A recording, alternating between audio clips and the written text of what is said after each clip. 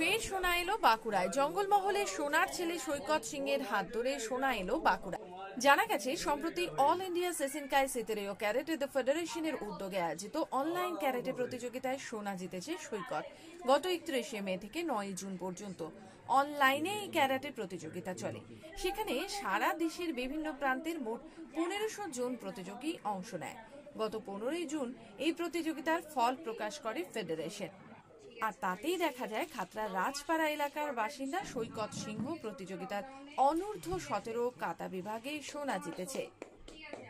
সোনার ছেলে সোনা জয়ের খবর ছড়িয়ে পড়তেই উচ্ছ্বসিত সৈকতের পাড়া প্রতিবেশী ও জেলার ক্রীড়া মহল। সকলের তরফেই তাকে অভিনন্দন জানানো হয়েছে।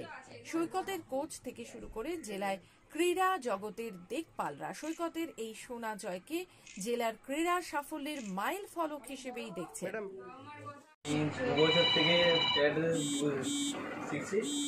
আমি ফার্স্ট টুর্নামেন্টে খেলতে গেছিলাম কুয়া বাগান। এখানে আমি সেকেন্ড হই বাঁকুড়া ডিস্ট্রিক্টের মধ্যে। আর পুরো ক্রেডিট যাচ্ছে আমাদের সেন্সি অমিত কর্মকারীর কাছে। আমাদের কাছে খুবই গর্বের বিষয়। আমাদের অল ইন্ডিয়া বেসিসে যে অনলাইন ক্যারাটে হয় সেই ক্যারাটেতে আমাদের সৈকত সিংহ খাতড়ারই ছেলে। অল ইন্ডিয়া বিশেষে তিনি ফার্স্ট হয়েছেন। তাকে আমার পক্ষ থেকে অনেক অনেক শুভেচ্ছা এবং অভিনন্দন জানাই।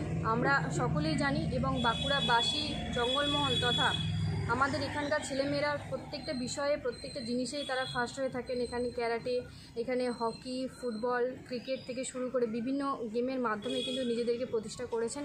বাঁকুড়া সবসময় বিভিন্ন জায়গা থেকে কিন্তু অনেকটা এগিয়ে। পড়াশোনার দিক থেকেও আমরা দেখেছি জঙ্গলমহলের মেয়ে ফার্স্ট হয়েছেন এবং ক্যারাটেতেও তার আমরা ফলস্বরূপ দেখতে পেলাম।